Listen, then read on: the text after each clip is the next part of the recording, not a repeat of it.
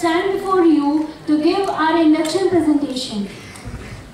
Uh, after independence, uh, there was a person uh, named Mr. N.K. Firodia. He had a vision to make our country an industrially strong nation.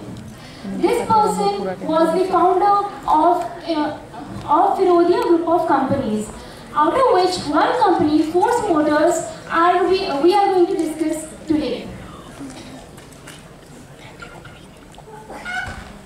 So Force Motors was started by Mr. N.T. Firodia uh, by making, uh, he started it by manufacturing a three-wheel auto rickshaw named as uh.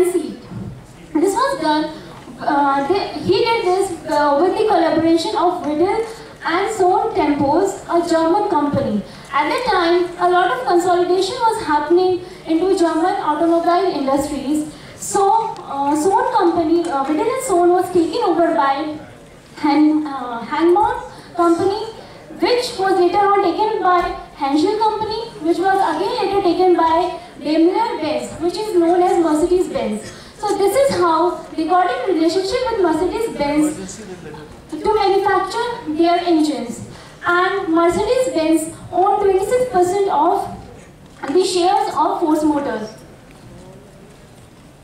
Coming to what exactly Force Motors is all about, the first. Force Motors is a vertically integrated company providing solutions for transport, both goods and commercial. Now, understanding what a vertically integrated company is that a company whose entire supply chain is owned by the company itself. So, uh, Motors had a vision to target every segment of the market, whether it's rural or urban, whether people who want to travel long distance and do road trips, or people living in hilly areas or areas where there's a rocky terrain. So they came up with a range of vehicles, commercial vehicles, like uh, small commercial vehicles, light commercial vehicles, special utility vehicles, and agricultural tractors. The company exports its range of world-class products to various countries in Middle East, Asia, Latin America, and Africa. Now, one of the most special things about Force Motors is that they have the most advanced research and development unit here in Pune itself. It is uh, considered as one of the most technologically advanced automotive research center. Next slide, please. Uh, now, these are some of the products, uh, basically all of the products that Force Motor has. We have combined them into three ranges, product ranges. That is the agricultural products, the commercial products, and the special utility uh, vehicles. The agricultural vehicles have only ventured into tractors. Uh, in commercial uh, vehicles, uh, the heavy commercial vehicles include the monobus, the light commercial vehicles include travelers and the trax cruiser. Uh, the special utility vehicles are the vehicles that are used by people who want to go off-road or who want to uh, travel uh, to places.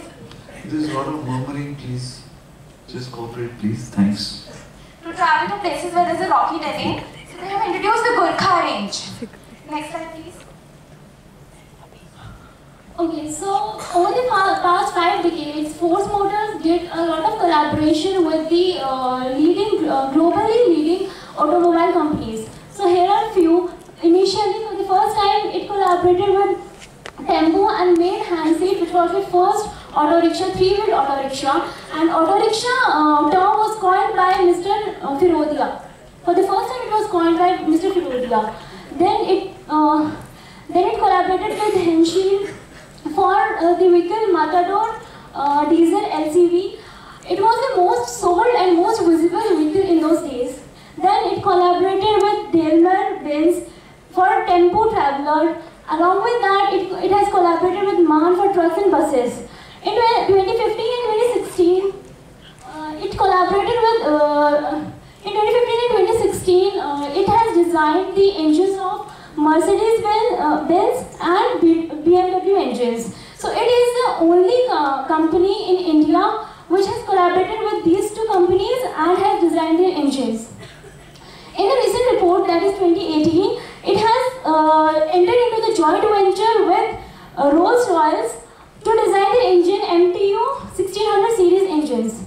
For this, they will be employing 200 employees and will be sending them to Germany for the training to design the engine, to manufacture the engine according to Rolls-Royce specialization, according to their standards.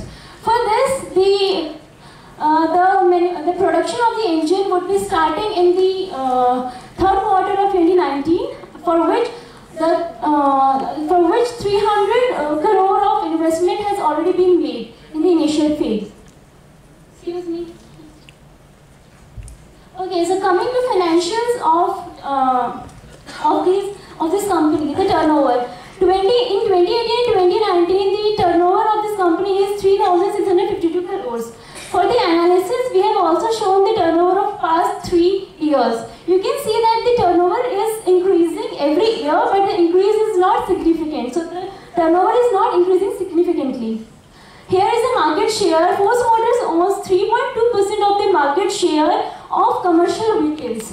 Whereas the market size of commercial vehicles is uh, 10 lakh 14,000 crores. 1 lakh 14,000 crores.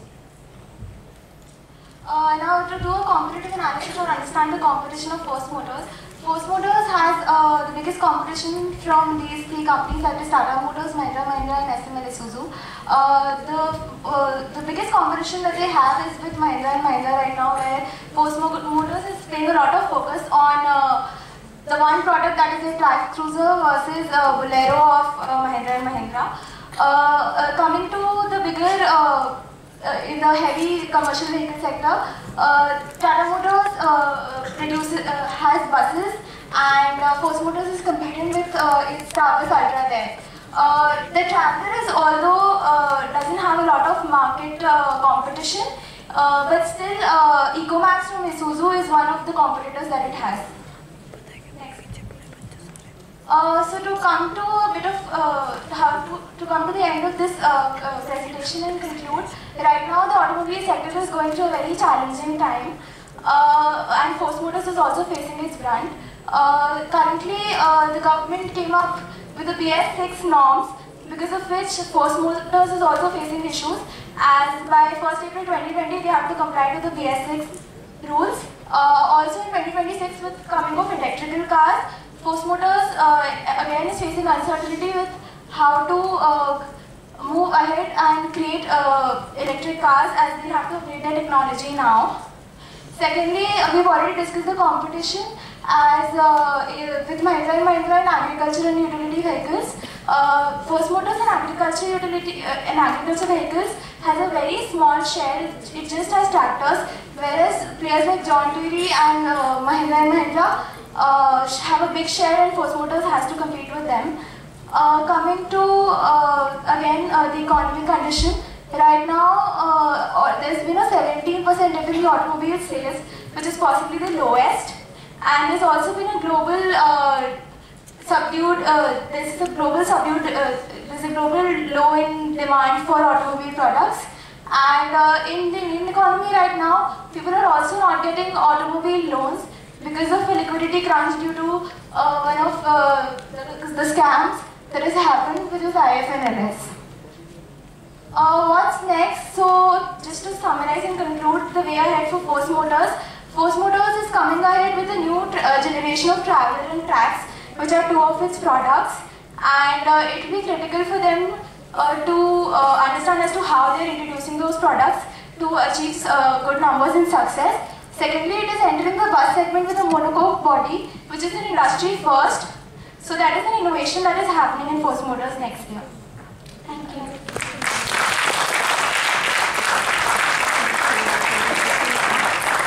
Okay, all students to